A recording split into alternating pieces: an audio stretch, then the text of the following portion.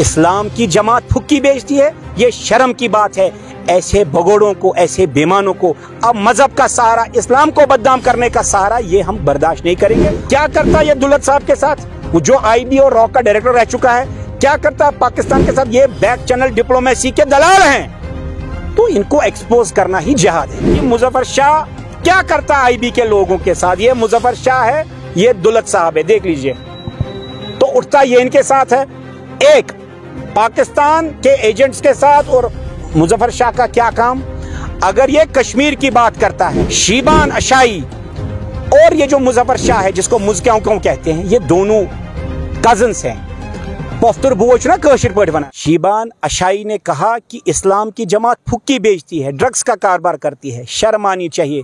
मैं कश्मीरी हिंदू, मुसलमान एक हैं, वो इस्लाम को बदनाम नहीं कर सकते। हो सकता है कुछ लोग गलत हों तो उनको टारगेट करिए। लेकिन इस्लाम की जमात फुक्की बेचती है ये शर्म की बात है। ऐसे भगोड़ों को ऐसे बेमानों को जो राजनीति में तो, तो फेल हो चुके हैं अब मज़हब का सहारा इस्लाम को बदनाम करने का सहारा ये हम बर्दाश्त नहीं करेंगे। आप अनकरीब देखेंगे उसको हम इस पर लिटिगेशन में ले जाएँगे कि इस्लाम को क्यों बदनाम करना। आपको कोई पर्सनल राइवली किसी के साथ है तो आप उसको नाम कर टारगेट करिए। लेकिन ये बोलना कि इस्लाम की जमात फुक्की बेचती है, ये शर्म की बात है। मैं इसकी पुरजोर मजम्मत करता हूँ। शाही ने कहा कि हम आईबी के लोग हैं, या बीजेपी के, या आरएसएस के। मैं आप मीडिया को चैलेंज करता हूँ। एक आदमी प्रूव कर दे कि हम बीजेपी के लोग हैं आरएसएस के लोग हैं, या आईबी के लोग हैं। नहीं तो मुझे मौका दीजिए। शीबान अशाई और ये जो मुजफ्फर शाह है, जिसको मुजक्याओं क्यों कहते हैं, ये दोनों कजन्स हैं। पोफ्तर बोच ना पट बनान। कहते हैं ना एक हिंदी में कहावत है, चोर चोर, मसेरे भाई।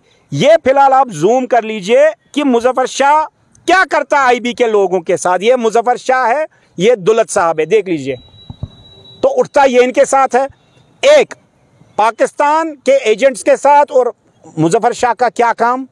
अगर ये कश्मीर की बात करता है, ये कहता है कि हम एजेंसी से दूर रहते हैं। इसके फेसबुक पोर्टल पे मैं कश्मीर के अवाम को रिक्वेस्ट करता हूँ कि इसका मुजफ्फर शाह एएनसी पोस्ट देखे फेसबुक पे, उस पर ये फ़ोटोज़ मैंने डाउनलोड किए हैं।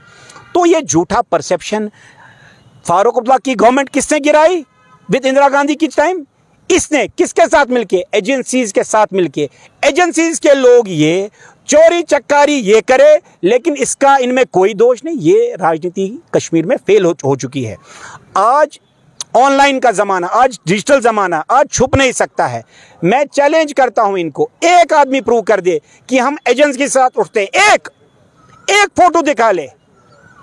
हम मान लेंगे, लेकिन हमने आवाम के सामने इनके फ़ोटो दिखा लिए हैं। और मेरे, मैंने नहीं दिखाए हैं। ये मुजफ्फर शाह की फेसबुक पोस्ट पे ये फ़ोटोज़ हैं। क्या करता ये दुलत साहब के साथ? वो जो आईबी और रॉक का डायरेक्टर रह चुका है। क्या करता है पाकिस्तान के साथ? ये बैक चैनल डिप्लोमेसी के दलाल हैं। तो इनको एक्सपोज करना ही जहाद है।